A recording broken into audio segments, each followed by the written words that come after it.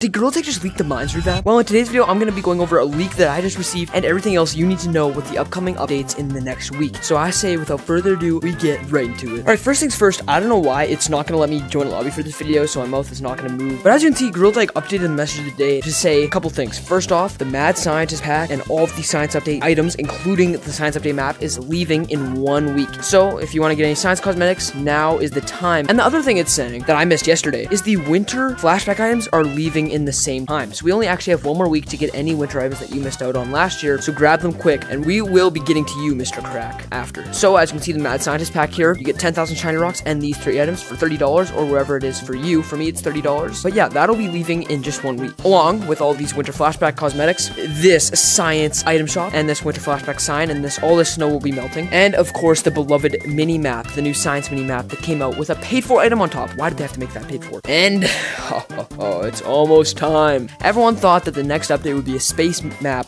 uh, in the rotating map, but we just got confirmed leaks today. I actually was almost right on what the next update is going to be. For those of you who thought I was lying, I wasn't. The next update is going to be a new game mode in the rotating map. A game mode that we all know as Capture the Flag. Now, for those of you who don't know, I posted this video a couple days ago now. I think it's probably a week ago now on the Capture the Flag game mode. Potentially got it got leaked then, and it actually was a real leak. I thought it was fake. It was actually a real leak. And this is the official leak of one of the moderators slash devs of the game. It wasn't meant to be out here, but it got leaked. And it is just the some of the code slash write-ups for the Capture Flag game mode. So that means that the next update is going to be using the rotating map for Capture Flag. So as you can see right here is the rotating map.